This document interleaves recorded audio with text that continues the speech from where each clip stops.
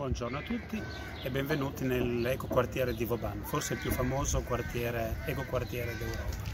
Che cos'è Vauban? Vauban è una specie di trapezio ehm, con un'area di poco meno di mezzo chilometro quadrato, un chilometro di lunghezza, mezzo chilometro ehm, di larghezza ed è stato costruito al posto di una vecchia caserma francese che è stata chiusa nel 1990 nel 1990 la città doveva dare dei posti per abitare alle persone eh, che continuavano a venire a Friburgo e mh, mm, aveva deciso di costruire un nuovo quartiere al posto di questa vecchia caserma francese che era stata chiusa nel 1990. Eh, un gruppo però di cittadini